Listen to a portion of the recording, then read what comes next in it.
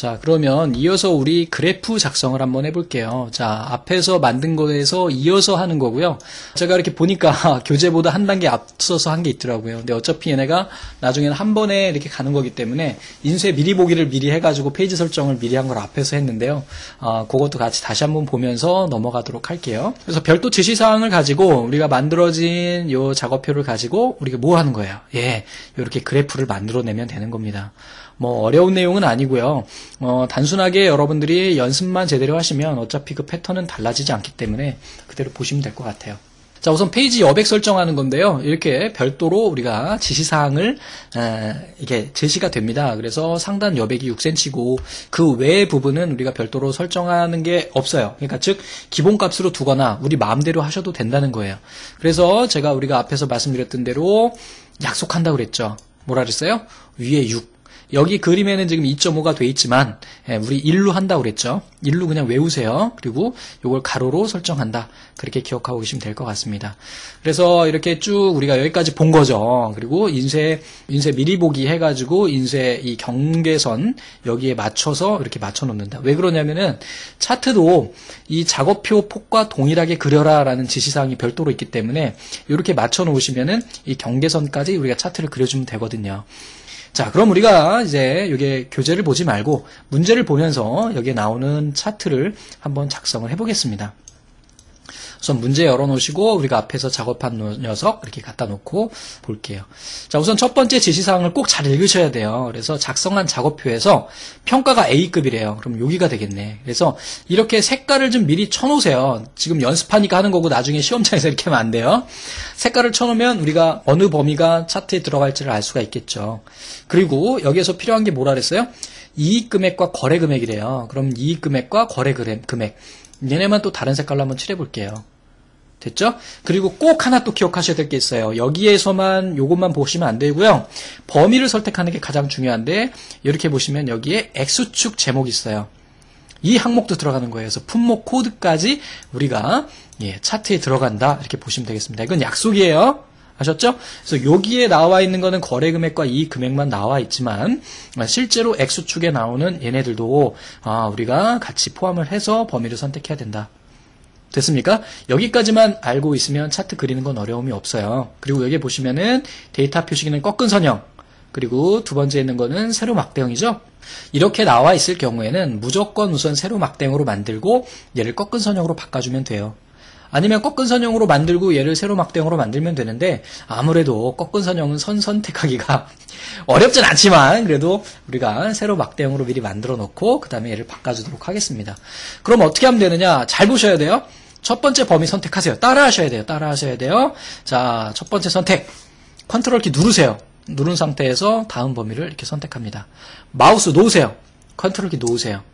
이 순서가 잘못되면은 차트가 제대로 만들어지지 않습니다. 이 문제는 굉장히 기초적인 내용이기 때문에 쉽지만 나중에 막 떨어져 있는 애들도 있어요. 그럴 경우에는 아, 좀 어려움이 생길 수 있으니까 잘 보셔야 돼요. 자, 첫 번째 범위 선택하고 그 다음에 컨트롤 누르는 거예요. 컨트롤 누르고 첫 번째 범위 선택하는 게 아니라 범위 선택한 다음에 두 번째 컨트롤 누르는 거예요. 누르고 있는 상태에서 마우스로 두 번째 범위 마우스 커서 놓고 컨트롤 놓고 됐죠?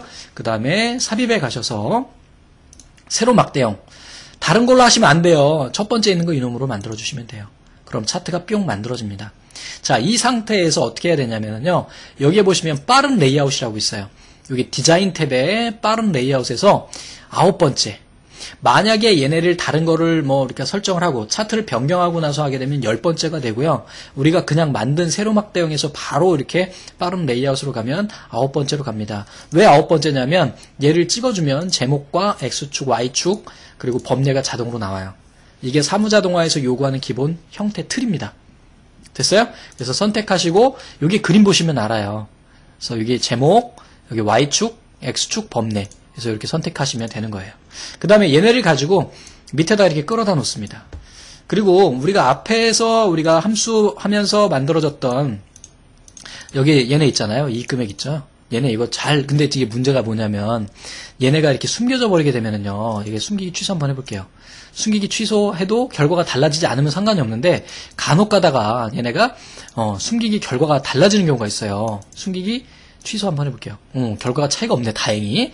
그럴 때는 얘네를 다른 쪽에 좀 옮겨주셔야 돼요, 이렇게. 그래서 되도록이면 숨김열 없는 쪽에다가 조건을 넣으셔야 돼요. 어, 지금은 아무 상관없지만. 그리고 얘네를 차트로 이렇게 덮어주는 거예요. 이렇게. 그러면 안 출력이 안 됩니다. 그 다음에 얘네를 차트를 키워주실 때 Alt키를 눌러주시면 얘네가 스냅이 돼요. 근데 선생님 저는 스냅이 안 되는데요? 그럴 때는 Alt키를 한 번 띄었다 눌러주시면 얘네가 각 쉘별로 네, 스냅이 돼요. 이렇게 딱 맞춰진다는 얘기야. 그 다음에 여기에서 모서리를 잡아서 이 경계선에서 약간 좀 작게 그려주셔야 돼요. 왜냐하면 이 경계선에 딱 맞춰지게 되면 필요 없는 페이지가 하나가 그냥 나오거든요. 그래서 이게 기본이에요. 됐죠? 자, 이렇게 만드신 다음에 얘네는 채우기 없음 해주셔야 돼요. 네, 이거 가끔 가다가 이렇게 해놓으라니까, 어, 그냥 하시는 분들이 계시더라고요. 자, 그러면 이런 식으로 해서 나오고요. 만약에 있잖아요. 제가 왜 조금 아까 이 경계선에 맞추지 말라 그랬냐면, 보여드릴게요. 하는 김에, 딱 맞추고, 인쇄 미리 보기를 하시면 밑에 보세요. 4페이지가 나오죠? 왜 4페이지가 나오느냐? 필요 없는 게 4페이지가 나오게 되는데, 이래도 뭐 감점도 아니고 하지만, 출력할 때 4장이 나와버리게 돼요. 그 이유는 뭐라고요? 이 차트 경계가 다음으로 넘어가기 때문에 그래요. 그래서 이거보다 약간 작게 예? 이렇게 해주시면은 우리가 예, 인쇄 미리 보기 했을 때 한 페이지만 나오게 되겠죠. 자 이렇게 해놓고 이제 하나씩 하나씩 우리가 잡아볼게요. 우선은 첫 번째 뭐라고 그랬냐면요. 차트 제목이에요. 제품별 거래금액 현황이래요. 그래서 여기서 뭐예요? 제품별 거래 금액 현황 이렇게 됐죠? 그 다음에 글자 크기는 16으로 하래요. 범위 선택 여기 16으로 하래요. 16 그 다음에 밑줄도 주래요. 짠. 됐죠? 그 다음에 두 번째 보면은요, 이익 금액은 데이터 표시에는 꺾은 선형으로 하래요. 그래서 이익 금액이 어떤 거야? 주황색? 그래서 얘를 선택하시면 돼요. 잘 보세요. 얘 선택하시고요. 마우스 오른쪽 누르면 차트 종류 변경이 나와요. 클릭. 여기에서 뭐라 그랬냐면 데이터 표시기는 꺾은 선형이라고 하는데요. 얘는 2003 버전에서 있는 이름이고요. 2007에서는 표시기 있는 꺾은 선형이에요. 얘예요. 마우스를 이렇게 올려보시면 표시기 있는 꺾은 선형이라고 나오죠? 얘예요. 선택하고 확인 눌러주시면 이런 식으로 우리가 바뀌게 됩니다. 되셨죠? 거래 금액은 세로 막대형이고 X축 제목은요. 제품 코드래요. 제품 코드. 그래서 얘 이름을 이렇게 어 지금 약간 움직였는데요. 이럴 땐 컨트롤 Z 눌러주시고 얘를 예 품목 코드 이렇게 넣어주시면 되겠습니다. 그리고 가끔 가다가 문제에서 보니까 해당 문자열 이렇게 하니까 당황하시는데 여기 나와 있는 얘네 얘네를 의미하는 거예요. 그냥 놔둬라. 기본값으로. 그리고 Y축 보시면은 눈금 단위를 1000으로 하시고요. 최소값 0, 주단위 1000만 원으로 하래요. 최대값은 3000만 원이래요. 즉 여기에 있는 얘네의 값을 최대값을 3000만 원으로 하고요. 각각 단위를 지금 500만 원으로 돼 있는데 1000만 원으로 하래요. 그리고 레이블도 표시하래요. 어떻게 하는지 보여드릴게요. 자 여기에 축 선택 마우스 오른쪽 축 서식 갑니다. 그러면 여기에서 축 옵션에서 보시면 최소값이 나오는데 최소값은 어차피 0이에요. 그리고 여기 보시면은 최대값 이렇게 놓으시고 여기다 얼마예요? 3천만 원이죠. 30 하나 둘 셋 하나 둘 셋. 됐죠? 주 단위는 또 천만 원으로 하래요. 그럼 어떻게 하면 돼요? 10 하나 둘 셋 하나 둘 셋. 그리고 여기에서 레이블을 단위를 천으로 하라 그랬죠? 표시할 단위 천. 그리고 레이블 표시, V 표시 자동으로 됩니다. 그 다음에 확인을 눌러주시면 이런 식으로 그죠? 단위가 천 원이 되는 거야. 그리고 여기 보시면은 Y축 제목은 금액이래요. 그럼 이제 금액 바꿔주시면 됩니다. 이렇게. 그럼 여기까지 끝난 거야. 다음에 범례는요, 거래 금액의 이익 금액이고, 위치는 위쪽이래요. 지금은 오른쪽에 있죠? 그럼 어떻게 하면 돼? 마우스 오른쪽, 범례 서식. 그죠? 위쪽. 자, 엑셀이 좋은 게 뭐냐면, 아니, 뭐, 엑셀뿐만 아니라 윈도우즈가 좋은 게 뭐냐면, 내가 원하는 애를 선택하고요, 마우스 오른쪽 누르면, 이 바로가기 메뉴가 나와요. 여기에서 웬만하면 거의 다 모든 작업에 메뉴가 다 있습니다. 아셨죠? 자, 여기 뭐 셀 서식 주는 것도 마찬가지야. 여기서 보면, 우리 뭐 이거 누르고 했었는데, 여기서 마우스 오른쪽 누르면 여기에 셀 서식이 나와요. 어딨니? 여기 있지. 그러니까 어떤 상황에서든지 거기에서 자주 사용되는 애들이 아, 우리 네, 바로가기 메뉴에 있다는 거 기억하시면 됩니다. 그리고 출력물 크기는요. A4 용지 2분의 1장 범위 내. 됐죠? 나머지는 뭐 그대로 해라. 그리고 작업표 너비로 해라. 그럼 여기까지 하면은 우리가 그래프를 그려준 겁니다. 되셨어요? 자, 그러면은 우선 여기까지 하면 작업이 완성이 된 거예요. 깔끔하게 나왔죠? 자, 근데 우리 이제 교재에 몇 가지 또 추가되는 내용들이 있으니까 한번 볼게요. 좀 전에 말씀드린 거, 얘 선택, 컨트롤, 그 다음에 범위 선택. 그리고 차트 삽입해서 만들어준다는 거, 그리고 여기에서 그래프 크기 약간 줄여준다는 거, 그리고 이거는 이제 우리 예제라고 해가지고 병합된 필드가 있는 경우가 있거든요. 그래서 얘도 우리 한번 차트 배우는 김에 한번 해볼게요. 자, 여러분들 이 소스는 어디 있는지도 아시죠? 영진닷컴의 홈페이지에 가시면 어, 이기적이란 메뉴가 있어요. 그래서 거기에 들어가시면 이렇게 있고요. 압축을 풀으시면 이런 내용이 있습니다. 자, 그래서 여기에서 1권에 엑셀에 이론에 병합 필드 어, 차트 만들기라고 있죠. 그래서 얘를 더블 클릭하시면은 음, 이런 식으로 병합 필드로 어, 우리가 만들어진 왜 안 열렸냐 얘? 아 여기 있구나. 자 제가 이게 두 개가 열려가지고 얘를 먼저 보고 있었네요. 그래서 이렇게 소스가 열릴 거예요. 그래서 이렇게 소스 열리면 얘를 가지고 우리가 여기 나오는 대로 한번 차트를 그려볼게요. 자 여기에서 보면은요 자산별 감가상각 관리표에서 계산된 자산별 취득 원가와 미상가액이 나타나는 그래프를 만들으래요. 자산별 미상가액과 거시기가 나오는 대표적인 형태인데 뭐냐면 문제에 보면 여기 자산별로 사무용, 공기구 뭐 이렇게 쭉 나타나 있는데 얘네를 가지고 차트를 그리는 게 아니고요. 보통 밑에 이렇게 통계치가 나온단 말이에요. 얘네를 가지고 우리가 차트를 그려주는 거예요. 아셨죠? 자, 그러면 여기에서 우리가 보면은요, 또 얘네가 이렇게 필드명이 병합이 되어 있을 경우에는요, 차트가 제대로 그려지질 않아요. 한번 해볼까요? 우리 아까 했던 대로 이렇게 범위 잡고, 컨트롤 키, 그 다음에 얘네 가지고 그냥 한번 만들어 볼게요. 자, 삽입하고요, 세로 막 대형 만들어 볼게요. 어떻게 나와요? 이상하게 나오죠? 사무용, 사무용, 공기구하고 이게 필요 없는 애가 하나 나오게 돼요. 차트가 제대로 나오지 않는다고. 그래서 이 경우에는요, 아래쪽에다가 우리가 차트 그려줄 애를 이렇게 복사해서 사용을 해야 됩니다. 그리고 이런 문제에서는 여기에 있는 자산명 이걸 다 차트로 넣는 게 아니고, 어때요? 밑에 얘네? 왜 계산했어? 왜, 왜, 왜, 왜? 어? 차트 그리려고요. 그래서 얘네들을 이렇게 범위 선택하고요. 그 다음에 여기서 취득원가와 미상가격이죠. 그래서 취득원가 어디 있어? 여기 있네요. 여기서부터 여기까지 범위 잡아도 되겠다. 그 다음에 컨트롤, 그 다음에 미상가격이 여기 있죠. 그래서 컨트롤 C 하신 다음에 여기다가 컨트롤 V 이렇게 넣으시고요. 그 다음에 위에다가 얘네들은 병합이 되어 있기 때문에 우리가 밑에다가 하는 거거든요. 병합되어 있기 때문에 아래다 쓰는 거야. 그러니까 얘네 복사하면 안 되고 직접 써야 돼요. 그래서 얘네는 자산명, 얘는 뭐야? 취득원가 그다음에 미상각액 직접 타이핑으로 치신 다음에 그 다음에 삽입에 가셔가지고 세로 막대형해서 차트를 그려주시면 제대로 나오게 돼요. 무슨 얘기인지 아시겠죠? 그래서 만약에 차트를 그렸는데 이상하게 나온다. 그러면 이 아래쪽에다 이렇게 해놓으세요. 그리고 얘네는 어떻게 하면 돼요? 예, 차트로 덮어버리면 돼요. 이렇게. 됐잖아. 이렇게 하면. 그리고 여기 나오는 지시사항대로 우리가 차트를 어, 만들어주시면 돼요. 근데 이제 한 가지 더 추가적으로 알, 알려드릴 게 있는데 뭐냐면은요. 얘네를 복사할 때, 음? 얘네 복사할 때, 좀 전에는 우린 그냥 이렇게 해가지고 컨트롤 C에서 컨트롤 V 눌렀잖아요. 근데 가끔 가다가 이렇게 했을 경우에 REF가 나오는 경우가 있어요. 지금 얘네들은 지금 절대 참조가 들어있기 때문에 괜찮은데요. 얘네가 절대 수식으로 계산됐는데 절대 참조가 안 들어있는 수식이 간혹 있거든요. 그럴 경우에는 얘네가 REF가 나와요. 그때는 어떻게 하시느냐. 범위 선택, 컨트롤, 그다음에 컨트롤 C 하시고요.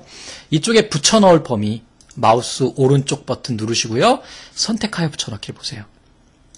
그러면 여기에서 모두로 하시면 어차피 똑같이 결과가 나와요. 그래서 여기서 값 및 숫자 서식을 하시면 이런 식으로 똑같이 복사가 됩니다. 이거 어, trouble shoot예요. 여러분들 시험장에서도 굉장히 자주 만나게 되는 그런 스타일의 문제고 어, 우리 지금 따라하기는 굉장히 쉽잖아요. 근데 나중에 이제 실제 시험장 가면 이런 게 나온단 말이야. 그때는 어떻게 하라고요? 아래다가 넣고 그 다음에 선택하여 붙여넣기 해서 어, 값이 제대로 복사 안 될 때는 선택하여 붙여넣기 해서 사용하라는 거예요. 다시 한번 보여드릴게요. 밑에는 얘네 없다고 칠게요. 그냥 그리고 한번 해볼게요. 이렇게 컨트롤 범위 컨트롤 C 그 다음에 찍고 마우스 오른쪽 선택하여 붙여넣기 값 및 숫자 서식 이렇게 하시면 얘네가 정상적으로 들어갑니다. 그리고 밑에다 복사한 이유가 뭐라고? 위에 이 필드들이 병합되어 있기 때문에 그래요. 어더니 어떤 분들은 이걸 또 그대로 복사해가지고 선생님 차트가 안 나와요. 왜 밑에다 복사했는데 꼭 기억하시기 바랍니다. 자주 나옵니다. 이런 스타일의 문제. 그래서 이렇게 해서 우리가 차트를 만들어준다는 거 절대 아, never 아, forgot. 오케이? 영어 썼다. 잊지 마라. 이렇게 해서 해준다는 거 잊지 마시기 바랍니다. 그 다음에 그래프 레이아웃 설정하는 거 우리 다 봤죠. 그리고 그래프 형태 변경하는 거 봤고요. 요거 어, 항상 이 스타일이야 항상. 그래서 이럴 때는 항상 그리고 또 꺾은선형을 씁니다. 그리고 항상 거의 80%의 문제가 세로 막대형이야. 가끔가다 가로 막대형 나오고요. 가끔가다 원형 나와요. 가로 막대형이 어차피 똑같고요. 원형은 나중에 우리 기출문제에서 보면 되는 거예요. 자, 그래서 이런 식으로 하면 된다라는 거. 됐죠?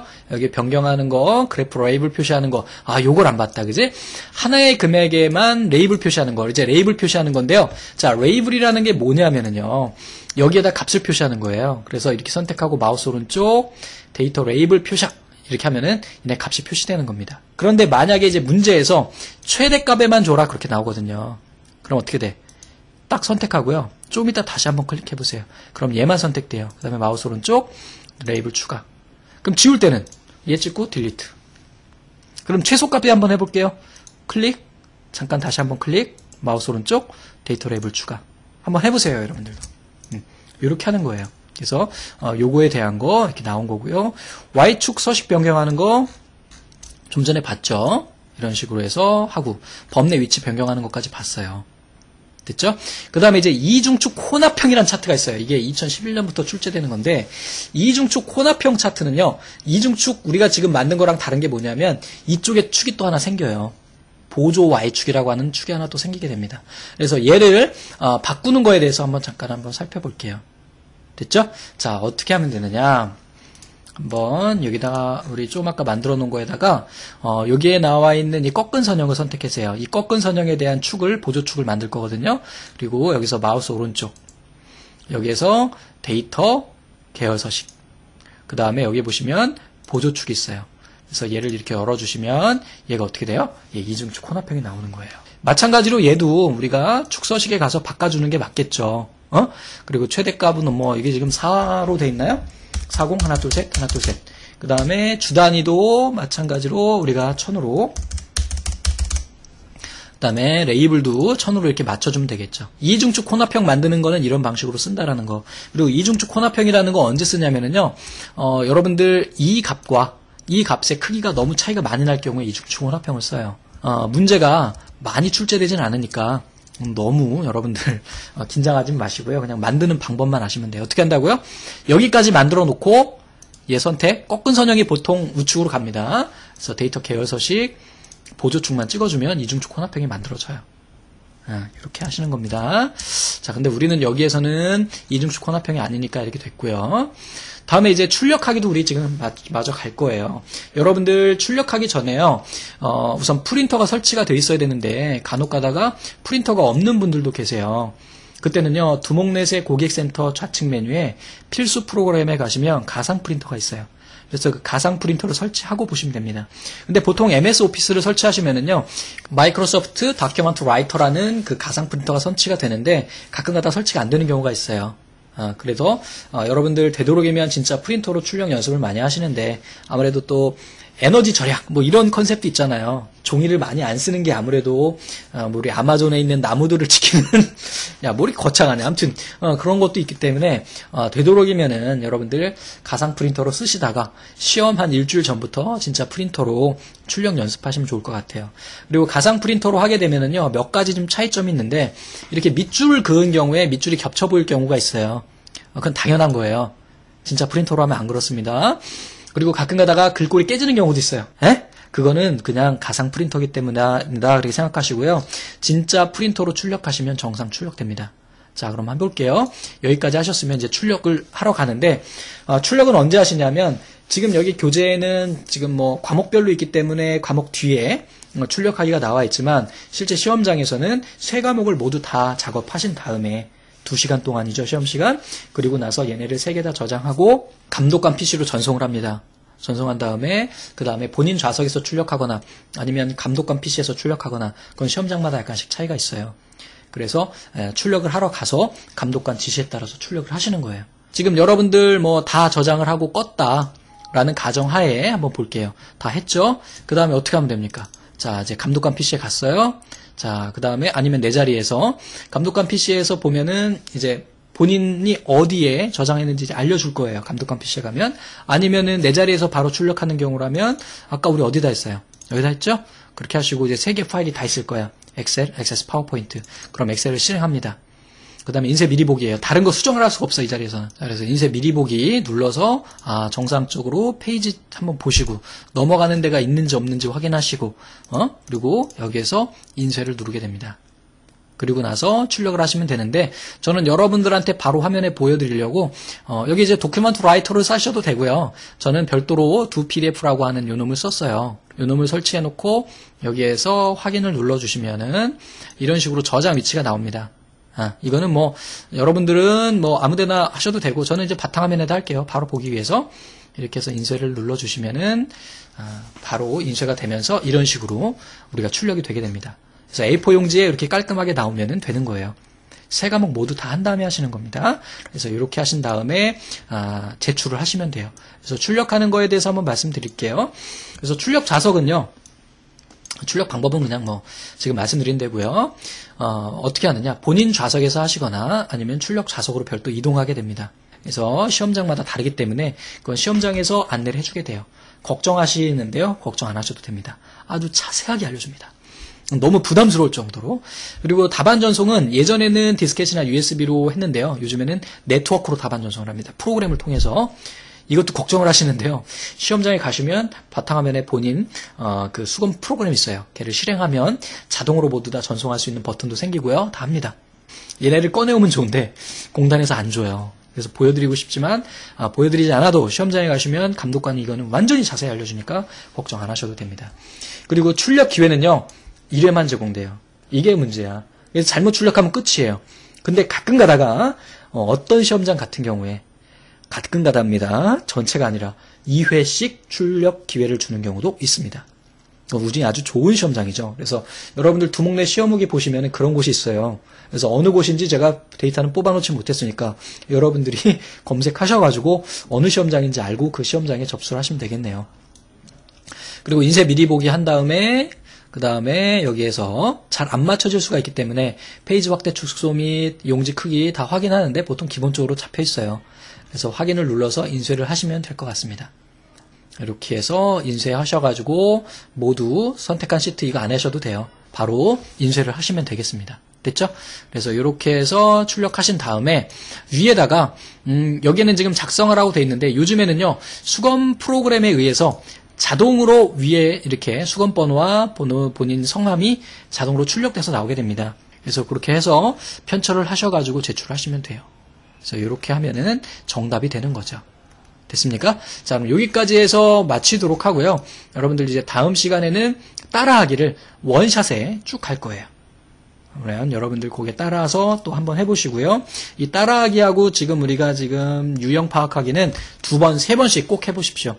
반복이 중요해요. 새로운 문제보다 반복이 중요하니까 꼭 그렇게 확인을 해서 준비해 주시면 좋을 것 같습니다.